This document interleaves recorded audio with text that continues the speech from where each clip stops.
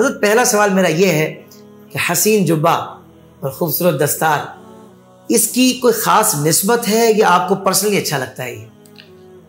नहीं इसकी नस्बत है।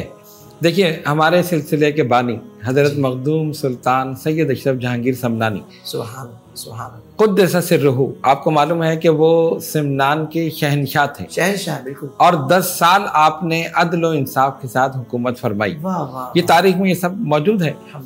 और आपकी ज़ात मुबारक जो है वो किसी तारुफ की मोहताज नहीं है। हम्म, तो आप जानते हैं बादशाहों के ताज होते हैं। अल्लाह तो मखदूम समनानी भी जो ताज इस्तेमाल करते थे बुज़ुर्गों से हमने सुना कि उसकी वजाकता इसी तरह थी।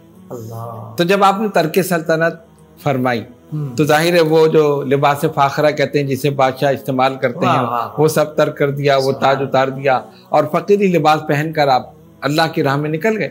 तो उस गालिबन उस ताज का ये अंदाज हम्म। बुज़ुर्गों ने इस्तेमाल किया।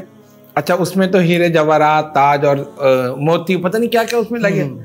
तो उन्होंने एक सादा कपड़ा लेकर उसी अंदाज का ये एक ताज बना दिया। तो इसको ताज कहा जाता है।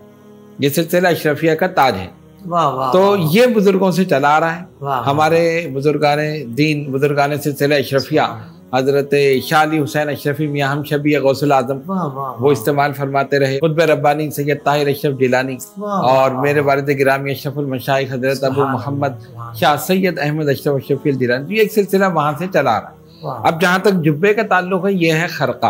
हम्म, और खरका पोशी हर सिलसिले में हर खानवादे में है।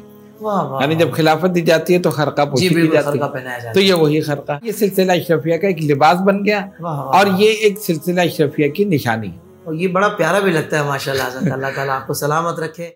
सोशल मीडिया पर इस्लाम की सही तालीमात जानने के लिए अभी हाफिज सायर खादरी का नया YouTube channel Islamic digital studio subscribe कर लें। और हाँ नोटिफिकेशन बेल आइकन को भी प्रेस कर लें ताकि हमारी नई वीडियोस आप तक बर वक्त पहुँच सके।